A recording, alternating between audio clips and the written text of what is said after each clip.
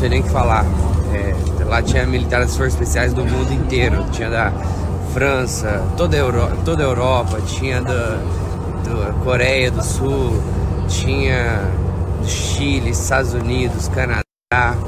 Cara, o mundo inteiro estava lá, o mundo inteiro. Militares das forças especiais do mundo inteiro estava lá. E simplesmente todo mundo, é, a informação que a gente tem todo mundo morreu. Eles conseguiram com tudo. É que vocês não estão entendendo o que é um caça soltar o míssil em cima da gente. Vocês não estão entendendo.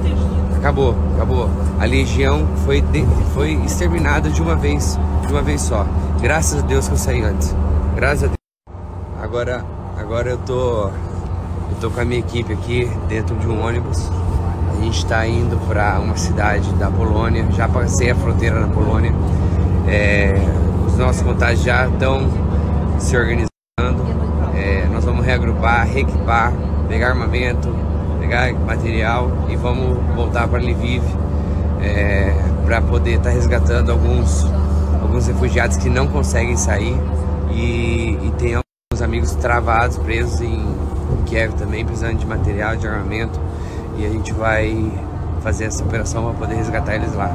Então é muito sério isso. Eu não imaginava que era uma guerra. Tô, é, eu não imaginava. Mas é